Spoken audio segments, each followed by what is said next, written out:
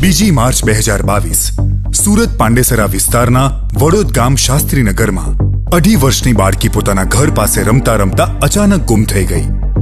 આ બાબતની ફરિયાદ પાંડેસરા પોલીસ સ્ટેશનમાં થતા ત્વરિત પગલા ભરાતા સુરત શહેર પોલીસ દ્વારા અલગ અલગ પંદર ટીમના બસો પચાસ જેટલા પોલીસ કર્મચારીઓ, અધિકારીઓ તેમજ એસઓજી તથા ક્રાઇમ બ્રાન્ચના નિષ્ઠાવાન પ્રયાસો સાથે પોલીસ દ્વારા શહેરભરમાં ચારસો જેટલા પોસ્ટરો લગાડી, સાતસો ઘરોમાં તપાસ કરી, બસો પચીસ જેટલા પ્રાઇવેટ તેમજ Surat city command and control સેન્ટરના સીસીટીવી કેમેરા ચેક કરી, તેમજ પોલીસની અલગ અલગ ટીમ દ્વારા કરવામાં આવેલ ટેકનિકલ તપાસના આધારે ગુમ થયેલી બાળકીને સહી સલામત શોધી તેના વાલીને સોંપી.